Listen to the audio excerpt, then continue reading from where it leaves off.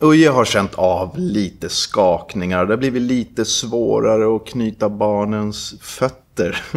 Knytfötterna.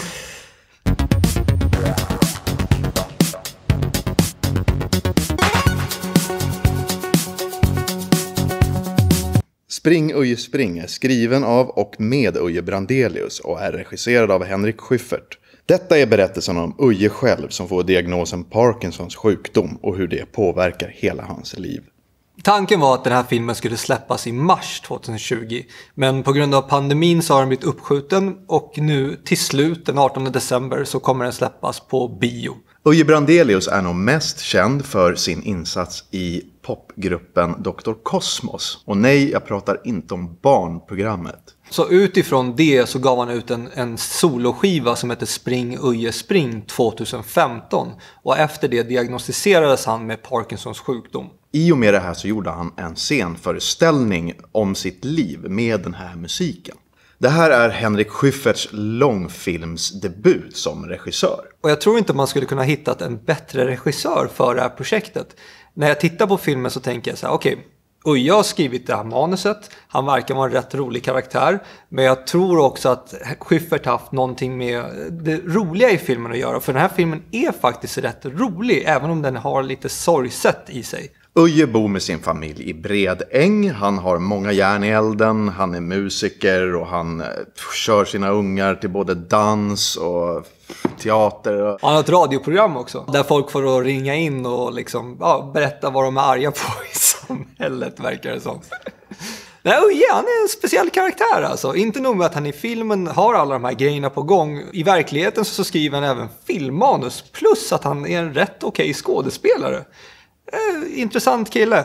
Uje har börjat känna av lite skakningar i händerna vilket gör att han går till läkaren och där får han diagnosen Parkinsons sjukdom.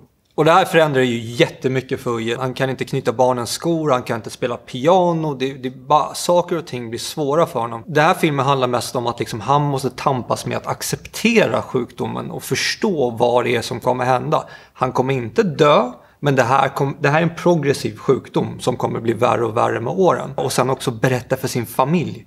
För familjen vet ju ingenting egentligen. De vet bara att någonting är fel och vet inte varför. Vi får följa Uje några veckor när han har fått reda på den här diagnosen och vad som händer med hans liv. Vardagen är likadan. Människorna runt omkring honom är likadana, men Uje förändras. Man märker att i början så är han på ett visst sätt och så bara blir det värre och värre och det är bara jobbigare och jobbigare för honom. Det är intressant att se och därför jag tycker Uje Brandelius gör en bra skådespelarinsats. Jag håller med, jag tycker faktiskt Uje är riktigt bra. Och här blir det intressant för att hela hans familj, inklusive hans föräldrar, spelar sig själva. Det är fascinerande. Det, det, är så naturligt när han och hans familj sitter runt matbordet och pratar. Dels så kan jag tycka att barnen är rätt bra skådespelare, frun är en bra skådespelare. Ja. Henrik Schyffert är väl mest känd för Killinggänget skulle jag tippa på. Och det är intressant att se hur han är lekfull här i sin roll som regissör. För jag kan tänka mig att många regidebutanter är väldigt försiktiga. Men här är det rätt många roliga och intressanta scener med roliga kameravinklar och intressant ljus och liknande. Jag tror och hoppas på att produktionen har gått rätt smidigt. Det är inte så här superkända skådisar. Är, förhoppningsvis är det inte några med stora egon och Schyffert är liksom debutant. Så jag tror att det har funkat rätt bra bakom kulisserna här. Och det syns på bild att det har gjort det. Och det är klart man kan tänka så att Schyffert, han är en rolig kille. Han har säkert slängt in en massa i det här manuset som är komiskt och liknande saker. Men Uje Brandelius står ju faktiskt som författare till manuset. Och killen har ju verkligen skills för det här. Han är rolig, smart, filmen är smart, det flyter på. Inga tråkiga stunder bra film. Och det är bra musik. Det är riktigt fina poplåtar skrivna av Uje Brandelius själv från hans album Spring Uje Spring som han skrev innan han blev diagnostiserad. Och de kommer in i filmen på helt rätt tillfällen hela tiden. Passar perfekt. Roliga låtar, fina låtar. Alltså jag blir ju berörd. Under många riktiga musikaler så är det ju stora danser och det ska vara stora lampor och lysa. Men här hade de löst det så att han sitter i köket och käkar middag. Och så börjar lamporna i lägenheten liksom du, du, du. Jag tyckte det var så jäkla snyggt att få vardagen att helt plötsligt bara glimta till. Och sen är det en annan scen där han inte kan sova mitt i natten och går upp liksom och vankar runt i vardagsrummet och kikar ut genom fönstret. Där kommer också en låt in som jag tyckte var jättefin och filmat jättefint verkligen. Och en intressant grej med fotot är att vissa scener, och där måste man hålla utkik efter, vissa scener så börjar de med varma färger, glada färger.